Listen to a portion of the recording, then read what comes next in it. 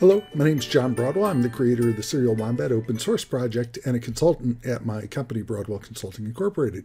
This is the first of a series of Serial Wombat Makers Bling videos, which essentially will introduce you to something that is a prototype, uh, in this case, a surface mount version of the Serial Wombat chip that was uh, mostly assembled by JLC PCB, but that I had to hand solder the micro to because of uh, inability to get micros on a reel.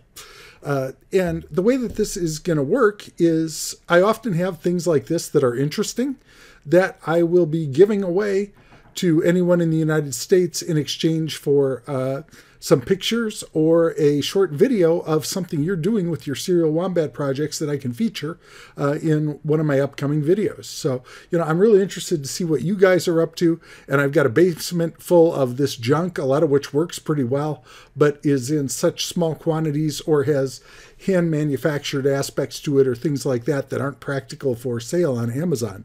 So, uh, you know, I'm looking for a way.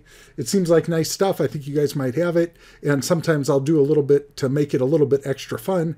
Like in this case, uh, we have this decal here that I add with the Serial Wombat logo, which basically tries to take you know something which is a prototype which i would eventually discard and turn it into something that we can pretend is a collector's item and really is just a, a, an article of my gratitude to you guys and something perhaps that's a little bit unique and fun uh, for the people who are uh, making stuff with the Serial Wombat open source project. One thing to note about this is because they are handmade prototypes, there is a limited availability.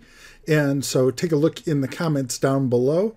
And if there's a note that says, hey, I've distributed all of these then hang on for our next future uh, Serial Wombat Maker Bling giveaway. So if you're interested, send an email to serial, help at serialwombat.com. Let me know uh, what your project does, what you're hosting it in, what language you wrote it in, and why you chose to use a Serial Wombat chip as opposed to, say, driving directly off of the pins of your Raspberry Pi or Arduino or something like that.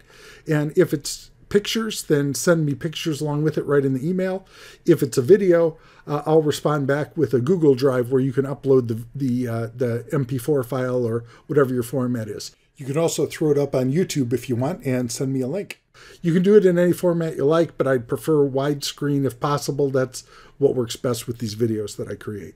So again, if you're interested, uh, send me a summary of your project at help at serialwombat.com. It's only open to U.S. residents because I'm going to be sending these through uh, first class mail. Uh, so, but, uh, you know, really interested to see what you guys are into and see if you're interested in any of the interesting uh, engineering artifacts of some of the things that I've been doing.